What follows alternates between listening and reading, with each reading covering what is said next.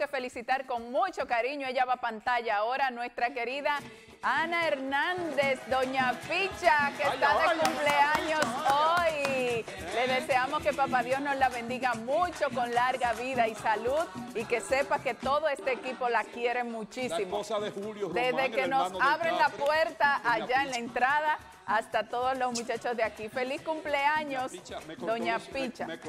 Claro, porque usted dice cosas que no Nosotros mañana.